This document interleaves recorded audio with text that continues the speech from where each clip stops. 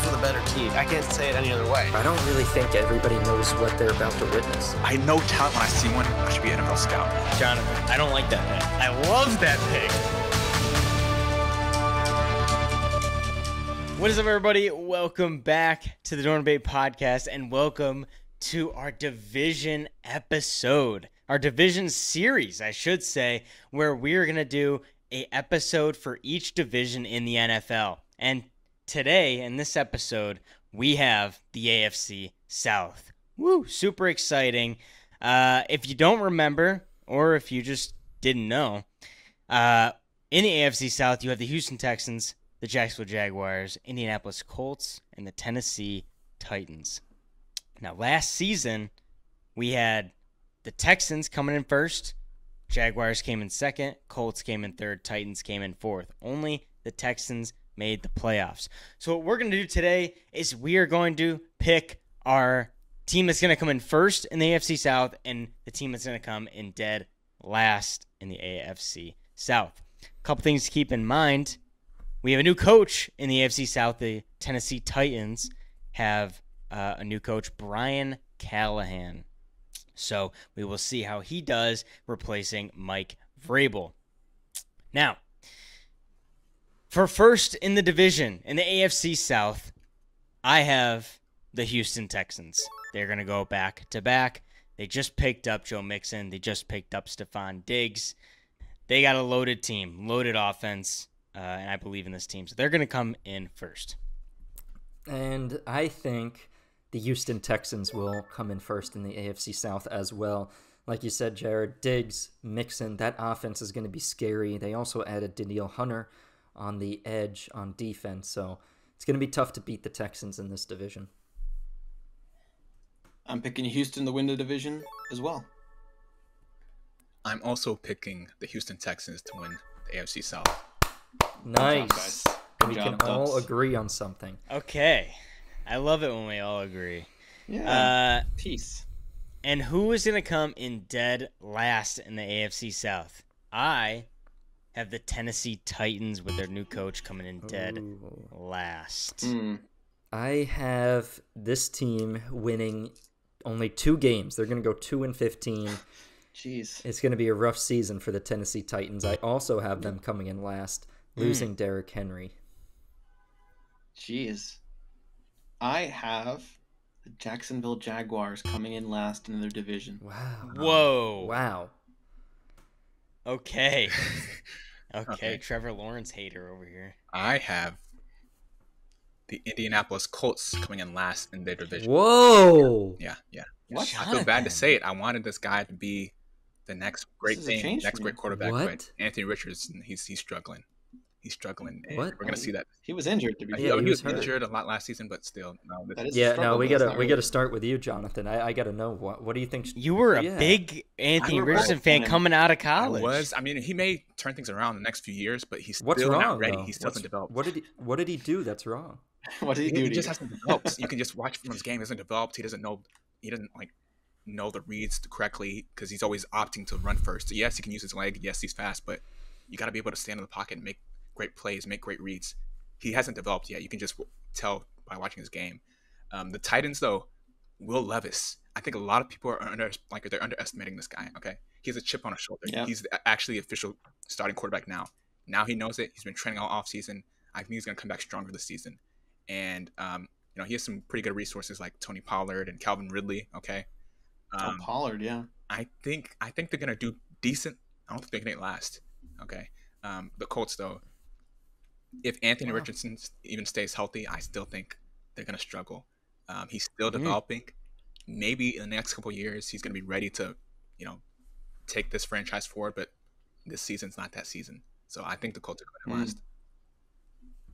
And Interesting. Caleb, I gotta hear from you. I mean, Doug Pederson, you got no That's- confidence. That actually is the biggest shocker to me. This team, this team was the winner of the AFC South just two years ago. Yeah, I think for me, it, I'm wearing the jersey of you know when they when Doug Pederson led us to Super Bowl. He's a legend for that. I'm always going to respect him and love him for that. He's on Jacksonville now. No no personal gripes with them, but for me, it just comes from they've been dark horses for to me at least for a few years now, and I just kind of see some ball security issues with Trevor Lawrence, some gelling of like just stuff that I would want to see have started to happen last season, not gel enough yet. That I think I'm a little with with Jonathan alluded to it. I like Levis. I mean, we'll see how the rubber meets the road when you're the starter. But the little I saw of him towards the end of last season, I'm like, this this guy, you know, rather than throwing these rookies right into the gauntlet right away, you give them a chance to develop, learn the league. Yeah. I think going into you know another year with him, he might do better. And one of the problems with Titans as a whole, I mean, I don't think Vrabel was a very good coach, and it's I don't I'm not as familiar with Callahan, but the Titans had a problem that the Browns did, where they were so run focused that as soon as their talisman running guy got hurt or wobbly in some respect, that the whole offense struggled and their passing game wasn't enough. And so much of the league has that, but it diversifies it more. And I think with Levis doing better because he was kind of a gunner in my eyes, like just being able to throw it deep and getting some. I mean, he did have a pretty good game, you know, some big touchdowns. Like I think if they feed into that with the new coaching, it might be more passing oriented. Now, who are they passing to? Where's AJ Brown? You know, it's like that's that still might be some clout that they they miss. But I think that puts them over with some of Jacksonville's issues with if Trevor Lawrence isn't at that level yet, because it's been a few years with Trevor Lawrence, and would I bet on Levis being more? I mean, that's kind of an interesting question. Who would who would I want over? You know, and I'm like maybe the the Titans could because if they were good with the run, then they have at least some good blocking in line, and that opens up the offense a lot. Um, mm-hmm. But I do like the Colts a lot. Like Jonathan, your reasons for the Colts I, I like a lot too. It's just tough because we haven't. That's part of the problem. It's part of what makes someone a pro is that they're healthy enough, and that's sometimes out of their control, sometimes genetic. Who knows? But I like for me, I haven't seen enough of Richardson, but that's kind of the problem but it's. I'm with you too, where it's like they're kind of in a. I wouldn't call them dark horses. I would call them maybe still building, like a year or two into a building stage. Uh, but I, I could see them all being good enough that the fourth place is like a game or two under third. Like I don't think it gets super. I don't yeah, think the differential between one and four is crazy. So that's kind of why. Yeah, I think the one thing we all noticed with Anthony Richardson is he doesn't know how to slide. Yep. Like the on what he got injured on, he took a huge hit. He was taking hits in the couple games that he played, and Jonathan, you're, you're pretty spot on on the fact that he would prefer to run the ball rather than progress through all of his reads and sit in the pocket. I mean, he's just more comfortable on the run. Um, yeah.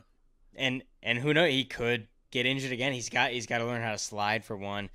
And then two, I don't know, is Jonathan Taylor still good? Like, oh, yeah. could he carry this team like he has prior? I don't know. I don't in theory, know. Yes, I drafted him in fantasy one year, and it, it blew up on my face. So that's part. Maybe that's part of why I kind of like Jonathan's take because there were some injury issues, and then I think I gave him. I think yeah. I dropped him, and then you picked him up, Jonathan, and he blew up. But but that's part of it though. Sometimes the other thing is they didn't they didn't really pick up anyone. Like they didn't make any big moves. Like they kind of kept this team the same, and What's the same they're kind is, of building still.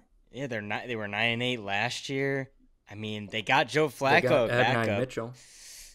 Adonai Mitchell, the rookie uh, out of Texas. Who knows if he'll play a lot, but it's gonna be tough. It's gonna be tough for that that Colts team. But I still I still think Titans I uh, I think the potential of Richardson is higher than Levis. I feel like I've seen yeah? enough of Levis in my opinion. But you don't like the coffee he makes. I don't like that he puts mayo in coffee. I don't like that he eats bananas with the peel still on. Just uh, you know, some things are not but does right. he get on base? Does he throw the ball? you know, like the money ball. I feel and and DeAndre Hopkins is injured. John, I don't know if, if you have any news on like if he's coming back yeah. like early or Yeah, he's gonna probably miss one or two games.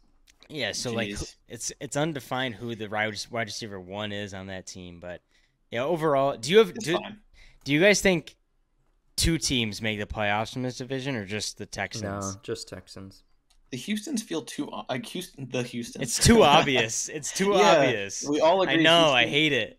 But what, what makes me kind of I noticed to add to it is like they did put up a pretty good fight against Dallas. I think two years ago. We talked about it last season or during last season. Like that defense is still pretty good because I would think like adding a guy like Stefon Diggs, nothing like not talking about his chemistry or personality, but just like they already had some pretty good receivers. They had another one. It's like is that too many cooks in the kitchen? I don't think so what makes me bullish is that the defense is fundamentally good. That the coach is a fundamental like comes from a defensive background, and mm-hmm. that they mm-hmm. were already showing signs of brilliance. Like they were a dark horse a few years ago.